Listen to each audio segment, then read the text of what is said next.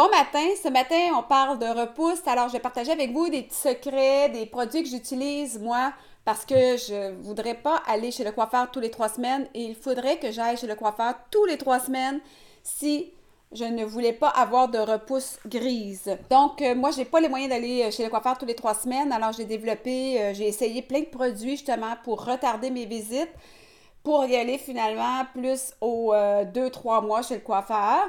Et euh, j'étire le temps là, avec des produits spécifiques. J'en ai essayé plusieurs, je vous en parle ce matin.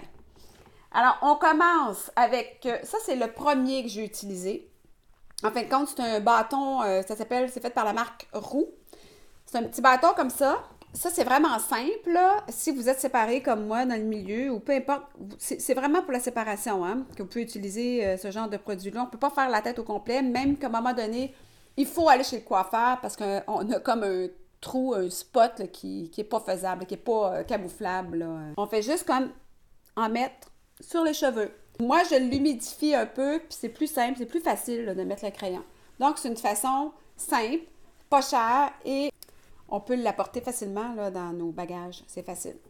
Sauf que, après quelques jours, moi, je trouve que ça pique et ce n'est pas complètement waterproof. Deuxième affaire, je ne l'ai pas ici, mais ça, je l'utilise aussi. Ça me rallonge euh, d'une semaine et demie, deux semaines, quand, je suis capable d'utiliser mes petits produits. Là. Eh bien, c'est le retouche. Dans toutes les compagnies de coloration, ils appellent ça les touch-up, les retouches. Donc, c'est une coloration qu'on fait, mais seulement de la repousse. Ce qui est important, c'est de ne pas prendre une teinte plus pâle que vos cheveux parce que ça paraît beaucoup trop. Euh, la différence. Puis c'est pas beau à voir. Il faut toujours avoir la repousse plus foncée que le reste des cheveux. Moi, j'ai souvent, j'ai fait l'erreur de faire des boîtes au complet, le noir, et après ça, tu en as pour un an avant que tes cheveux reviennent de la bonne couleur. c'est facile de foncer des cheveux, mais des pâlir, c'est très, très difficile et très, très cher, en fin de compte. Euh, l'autre chose, ça c'est mon coiffeur, c'est Alvaro qui m'a fait découvrir ça. Ça s'appelle Wow. C'est une espèce de poudre. Ça, là, c'est sûr que c'est pas euh, waterproof, mais c'est quand même très, très naturel et très facile à faire. On fait juste en prendre un peu. C'est comme, comme du maquillage, en fin de compte, du maquillage à cheveux. Et on en saupoudre un peu sur euh, la repousse. Donc ça, c'est une méthode facile et qui aussi d'un aspect très naturel. Puis, ça pique pas. La seule affaire, c'est que si vous allez dans un spa, ou si comme moi, vous mettez des lunettes de soleil, moi je mets toujours des lunettes de soleil, puis là je les mets sur ma tête, exemple, pour aller à l'épicerie. Et bien, si je les rebaisse, puis après ça je les relève, bien, souvent je me ramasse avec une trace noire ici. Alors regardez-vous ou faites ça comme ça si vous enlevez vos lunettes et que vous utilisez ce genre de produit. Un autre produit que j'ai découvert, ça, ça fait pas si longtemps, ça fait même pas un an, je pense que j'utilise celui-là. Ça, c'est comme un spray donc, c'est super facile. Puis, il est un peu plus waterproof que toutes les autres dont je vous ai parlé. C'est un spray comme ça. Et on fait juste faire chou dans les cheveux.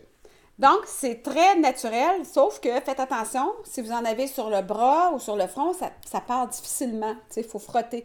Donc, moi, ce que je fais, c'est que je mets comme un, mouchoir ici, et là, je fais psh, et voilà, le tour est joué. Donc voilà, ce sont mes trucs dans le fond pour euh, survivre à la repousse.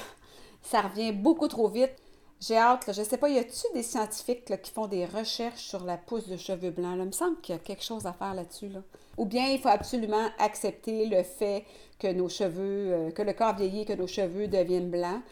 Euh, mais je vous dis tout de suite, ça vieillit vraiment beaucoup, les cheveux blancs. surtout quand on a des cheveux frisés comme moi. Là. Ouh, là, on a l'air des années 70. Euh, si vous voulez garder vos cheveux blancs, euh, il y en a que c'est super beau. Ça prend des coupes vraiment très définies, euh, des coupes très structurées, modernes.